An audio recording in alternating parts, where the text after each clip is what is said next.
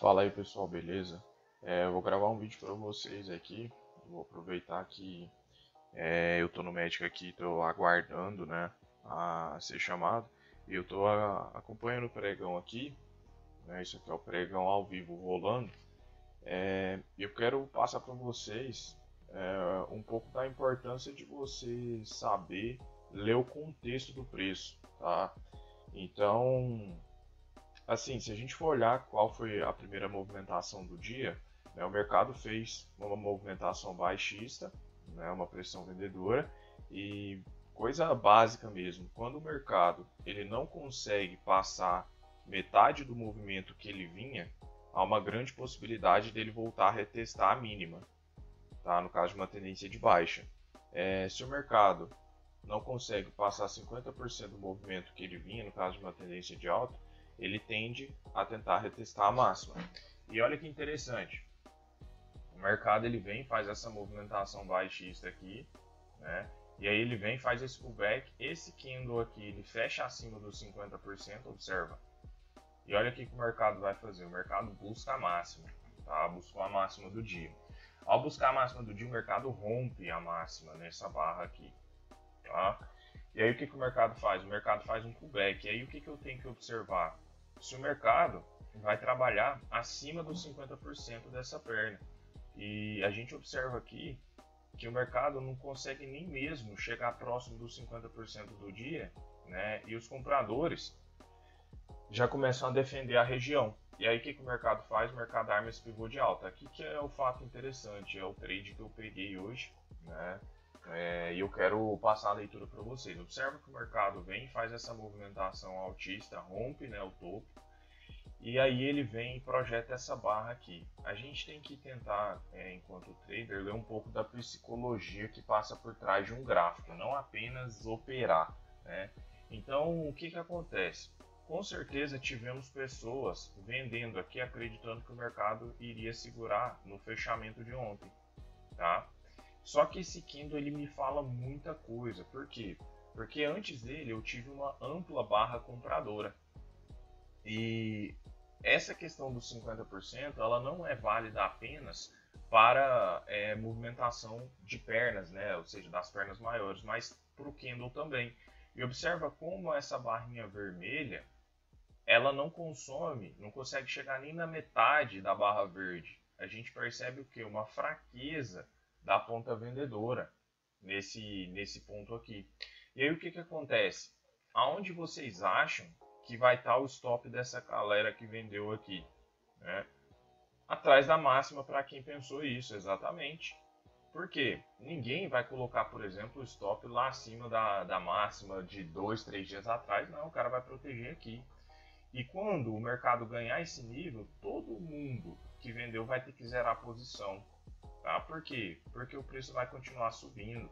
Né? E foi exatamente aqui no ponto de entrada. Então, porque esse candle não conseguiu ganhar nem metade do anterior. Eu tive, eu tinha acabado de ter um pivô de alta. Eu tinha esse candle não consumindo metade em cima do, do topo anterior também, uma barra bem pequena, rompeu aqui, cara, é compra. Não tem como, é compra, tá? E aí você faz uma gestão, você pode, eu normalmente gosto de trabalhar com algo duas vezes o risco. Né? Então aqui ó, ele chegou a dar 40 pontos, né? ou seja, mais do que duas vezes o risco. O risco aqui desse trade foi o que? Foi 17 pontos. Tá?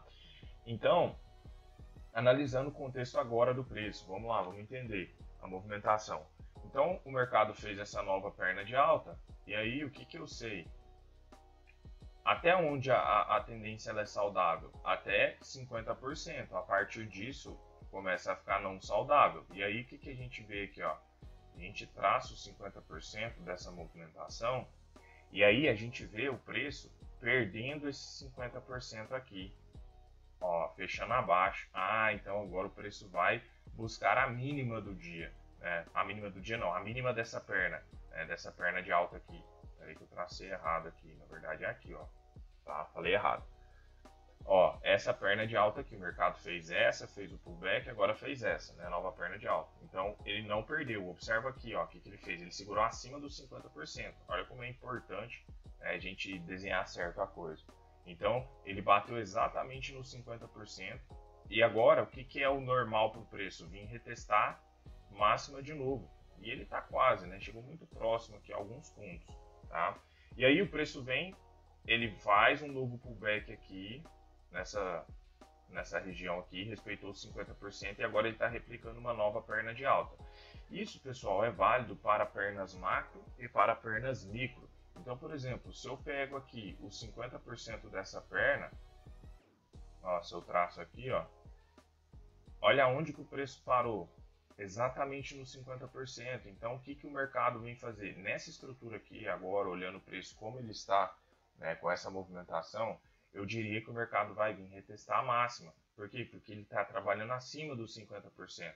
Essa é a contextualização que você precisa ter. Por quê? Porque na hora de operar, você vai usar isso. Você precisa ler e entender o contexto, né? e aí sim depois você tem o gatilho de entrada. Como foi o caso aqui. Eu entendi o contexto, depois eu peguei o gatilho de entrada. Né? Porém, o dólar, ele tá, ele começou uma leve consolidaçãozinha. Tá? Então o que, que acontece? Aqui pode ficar brigado. Né? Então a gente tem essa perna aqui, e aí o mercado veio, testou uma vez, aí o mercado volta, ele pode vir testar uma segunda vez. Tá? A partir desse momento aqui é o ponto de decisão. Né? Até mesmo porque se ele perde esse ponto aqui, a gente teria uma figurinha gráfica sendo acionada, que seria um topo duplo. Né? Mas não precisa, cara, de complicar, ah, topo duplo, fundo duplo, você não precisa de complicar desse jeito não. Tá? Se ele ativar isso, o que, que a gente vai aguardar? Bom, você vai ter uma, no uma nova perna de baixa sendo formada, tá? maior do que essas pernas de altas anteriores. Você vai ter os 50% dessa perna maior aqui sendo perdida, ou seja, você tem todo um contexto vendedor. O que, que você vai esperar? Você vai esperar um pullback, um sinal de venda. Tá? Isso seria um, é, uma suposição. Né? Qual seria a outra? A outra seria o preço romper aqui para cima ok? A gente teria essa nova perna de alta sendo formada, né? Se ele viesse aqui a romper. E aí o que, que eu sei? Cara, eu tô com força compradora, então eu vou buscar para sinal de compra. Então qualquer pullback que o preço faça, né, qualquer sinal de, de pullback aqui que ele venha testar esse topo rompido, ou então qualquer barra que eu consiga entrar na superação lendo né, o contexto dela, se ela for uma barra fraca em relação ao anterior, né, eu consigo trabalhar. Vamos pegar outro exemplo aqui, vamos olhar o índice agora. É bom que a gente trabalha com gráfico rolando. Deixa eu apagar esses estudos aqui. Beleza, vamos jogar o, o índice. Ó, tá tudo arriscado a minha tela. Então vamos lá. Ok. Bom, então o que, que acontece? O índice, a gente vê que ele deu essa primeira movimentação aqui, observa, de alta, não é? E aí o que, que acontece? O preço perde os 50% e na mesma barra ele já vem testar a mínima. Tá? Por enquanto o mercado aqui segue lateral, porém eu tenho essa perna de baixo aqui como perna mais forte. E aí o que, que o preço faz? O preço faz um pullback, tá? Aqui a gente até visualizou essa entrada lá na sala, porém ela não compensaria porque se é feita uma venda aqui, você está vendendo em cima de um suporte, olha onde estava logo o fundo aqui, tá? Então não compensa. Né? E aí o que, que o preço faz? O preço vem dar mais uma perna de baixa. Então, o que, que eu tenho aqui? Eu tenho essa perna de baixo, eu sei que até os 50% eu tenho força vendedora. A partir dos 50% entra a força compradora. E olha o que, que o mercado faz. Nesse candle aqui, ele já rompe tá, os 50% e já vem testar logo o topo aqui dessa perna. Olha lá, ó, o mercado bateu. Né? E aí, novamente, quando ele rompe e faz essa movimentação altista, eu já começo a considerar essa perna. Pessoal, vocês têm que trabalhar com a força. Qual que é a força que está dominando o preço? Eu quero saber isso. Qual que é a força? É força de alta? Beleza. Então é isso que eu quero.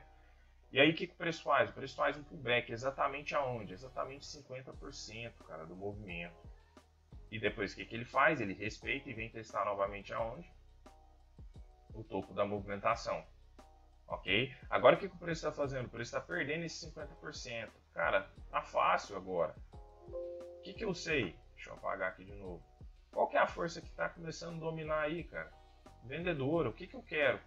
Muito simples, eu quero só que ele perca esse suporte aqui e qualquer sinal de venda que ele me deixar, eu vou tomar. Até onde eu quero vender? Até metade dessa perna aqui, ó. Porque a partir da superação desse 50%, eu sei que o preço tem condições de vir retestar a máxima. Então, qualquer sinal que o preço me der aqui, eu vou tomar na venda. É, agora eu não consigo operar porque eu estou no médio, é, mas eu ficaria muito atento nesse caso aqui para procurar por sinais de venda. Né? Com certeza vocês vão ver esse vídeo aqui é, de tarde, de noite, né? mas estudem, cara, estudem essa movimentação, entenda essa movimentação. Né? Entenda como ler o preço, entenda o que, que o preço está fazendo, qual que é a força maior e siga ela. Não tem segredo, para que complicar? Siga a maioria, ponto final. Não é seguir o que a maioria faz. Não, não estou falando isso, porque a maioria faz errado. Estou falando siga a maioria do mercado, porque a maioria é constituída por players grandes. São eles que mexem no preço e não a gente, né? os famosos é, pessoas físicas sardinha. Tá? Então ficaria atento se o mercado perdesse esse ponto aqui, tá? Para um possível sinal de venda. Porque se ele não perder e se ele segurar nessa região aqui, o que, que eu sei? Bom, eu sei que o mercado vai tentar fazer um pullback aqui, porém ele vai encontrar resistência aqui para poder voltar a cair. Porém, aqui é uma venda complicada. Por quê? Porque você está vendendo no meio de uma consolidação. Observa que o mercado, numa visão maior, ele está consolidado. Numa visão menor, ele está com uma pressão vendedora. É, ou então o mercado poderia voltar para cá, retestar aqui, e aqui sim é, os vendedores voltarem a reassumir. Aí tudo depende do padrão que ele deixa aqui, né, nessa região. Agora, se perdesse aqui, seria o melhor, tá? Porque a gente teria espaço para cair, talvez até o fechamento do dia. E se passa o fechamento do dia anterior, aí a gente abre espaço para uma queda mais significativa, tá? Até esse ponto aqui, a gente teria esses pontos aqui. Tá? Uma leitura bem rápida e simples, cara, de como entender a movimentação do preço, tá? Cara, foque nisso, tá? Não precisa é, de você aprender coisas mirabolantes. Aprenda, cara. Lê suporte e resistência, contexto de mercado, acabou, você vai ganhar dinheiro. Beleza? Então é isso, pessoal. Tamo junto. Espero que essa aula possa ter te ajudado, tá? Se de alguma forma te ajudou, deixa o seu like, beleza? Se inscreve aqui no canal. É, isso ajuda aí o canal a ser divulgado, né? É, quem ainda não segue o Instagram da mesa, tá aqui na descrição, segue lá, beleza? É, eu posto bastante trade que eu, que eu faço, eventualmente, né? Eu posto bastante coisa, tá? É, e é isso aí, ó pessoal, pode ser que aqui forme uma armadilha também, tá? Ou seja, os vendedores tentem perder essa mínima, o próximo candle rejeita e rompe essa máxima. Né? Tem que ver qual que vai ser a movimentação do próximo candle, beleza? Então é isso aí, pessoal. Qualquer dúvida também da mentoria ou do curso, me chama ali pelo link da descrição, tá? Que a gente conversa também. Valeu, pessoal. Um abraço.